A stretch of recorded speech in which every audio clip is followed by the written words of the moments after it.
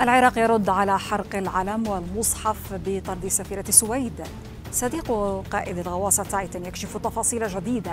لبؤة طليقة تثير الرعب في برلين. وحالة طوارئ. هذه الأخبار وغيرها ننقلها لكم من قناة الحدث فأهلا بكم.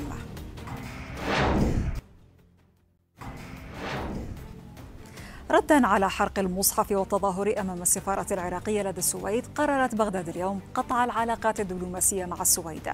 وأفاد المكتب الإعلامي لرئيس الوزراء في بيان بأن محمد الشيع السوداني أمر بسحب القائم بالأعمال العراقي من السفارات العراقية في ستوكهولم كما طلب من السفيرة السويدية في بغداد مغادرة البلاد. وأضاف البيان أن توجيهات السوداني تأتي ردا على تكرار سماح الحكومة السويدية بحرق المصحف الشريف والإساءة للمقدسات الإسلامية. وحرق العلم العراقي وفي السودان حلقت مقاتلات الجيش صباح اليوم فوق مدن الخرطوم وأم درمان وبحري حيث قصفت عددا من المواقع وواصلت قوات العمل الخاص بسلاح المدرعات تمشيط مناطق بجنوب الخرطوم معلنة عن تدمير سبع عربات تابعة للدعم السريع.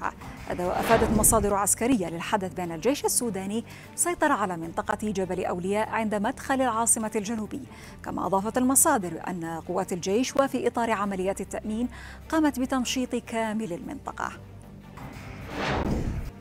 اقترح نواب حاكم مصرف لبنان المركزي اليوم تحويل العملة المحلية من نظام الربط إلى التعويم. بحلول نهاية سبتمبر. وفقا لنسخة من اقتراحهم حصلت عليها رويترز.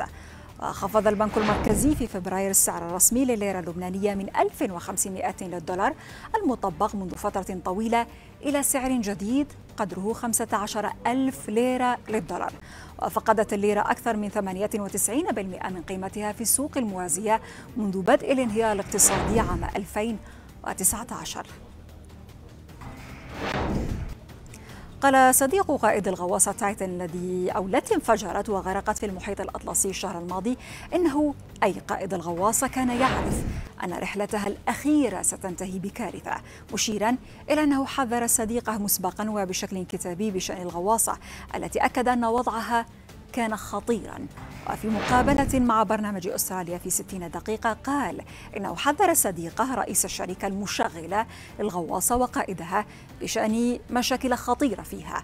وقال إن قائد الغواصة كان يعلم بأن الرحلة ستنتهي على هذا النحو لكنه صمم على نصب فخ لأصحاب المليارات. أمرت شرطة برلين سكان عديد من المناطق بالبقاء في المنازل بدلا من التردد على الشوارع ومواقع العمل. الأمر لا يتعلق بتهديد أمني أو إرهابي بل بلبؤة طليقة تثير الرعب في مناطق جنوب برلين. ما أدى لذعر كبير. تنفذ الشرطة عملية أمنية كبيرة وطلبت من السكان أيضا إبقاء الحيوانات الأليفة داخل المنازل. كما تشارك الشرطة وصيادون يحملون بنادق تطلق سهاما تحوي سائلا مهدئا في عملية البحث عن اللبؤة. الغريب في القصة أن الشرطة والسلطات المحلية لا يعلمون من أين أتت هذه اللبوة